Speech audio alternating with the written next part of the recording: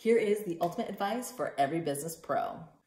In the end, you can gain all the external skills, all the you can do all the right things. You can you can put all your energy into the social media you're supposed to or the advertisements and creating the videos into creating the perfect product, but all of it will be undermined by your mindset, by your energy, by your health if they are not in place. If you are not in alignment with your external actions, it is like cutting it off at the roots. Nothing will be able to grow. It will wither. It will die. It doesn't matter if you are doing the right things. And I know this firsthand.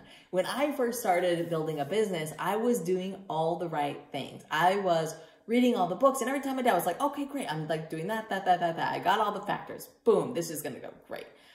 And I learned the hard way that I, because I was not in alignment, because I did not believe in what I was doing because I, in other words, I didn't believe I could actually make money doing these things. I, I, I didn't realize it at the time, but I would like, I had money mindset issues where I didn't see why people would pay me for these things, or I didn't think that, you know, um, they'd give me any dollars. Like I thought, you know, I would just underprice everything. Um, and, or I wouldn't show up to marketing and sales because I was worried about um, rejection. And so like just all those inner aspects of being a business or um, a, being a busy professional, uh, a, a, a, entrepreneur, in the end, that's why I think of um, entrepreneurship as a spirituality uh, or a spiritual practice, because in the end, it's the it's you and it's your um, what you're bringing to the table energetically, um, vibrationally, um, mentally, emotionally,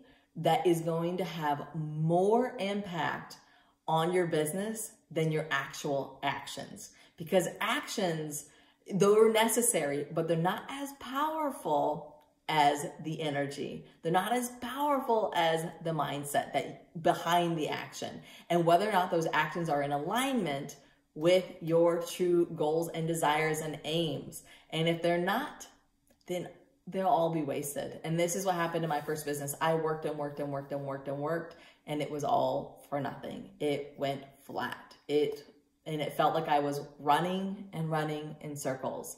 And I do not wish this for you. And this is why we need to put as much, if not more energy into our own personal development as we do our business. And this is why I always say like 50 in, 50 out. 50% of your energy, your mindset, your awareness goes into what's happening in your internal environment and 50% goes into your external environment, into your actions, into the tactics, into the techniques. And 50% is all internal. So let me know what you think. Does this ring a chord? Does this strike a chord? Does this ring any bells? Does this bring you any ahas? Um, I hope it does because if I would have gotten this advice um, in my early entrepreneurship days, I would have saved myself a lot of headache and struggle. And I wish the same for you.